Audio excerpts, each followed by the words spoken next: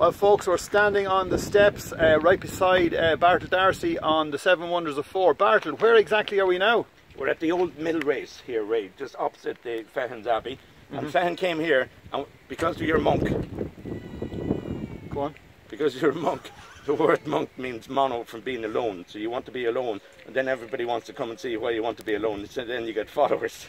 So he has to feed his followers. So he builds a mill here, but there's no water to run the mill wheel. Right. So everybody doubts him, and then he takes his staff, like this one, goes across to Lough Lene.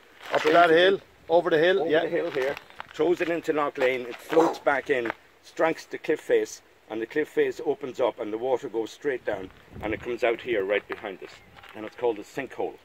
This is a sinkhole. This is where the water flows up the hill. Up the hill because where it goes in at Lough Lene is at a higher sea level or, or lower sea level than it comes out here. This is a higher sea level, right? How do you do that? because this is called karstification. So when you see all the limestone shot up here in hills, that means it has to come from below. So this place Fore, the Irish is Fovard, the town of the springs. So there's a huge amount of underground water here. And also the River Glore races just over there too as well. So he understood this because he was in Cong before and he's seen underground water channels between Knockree and Knockmask. Brilliant. Thanks very much, Bartle. What number was that? This is two and three because the mill without the race and the water that flows up the hill. Thanks for that, Bartle.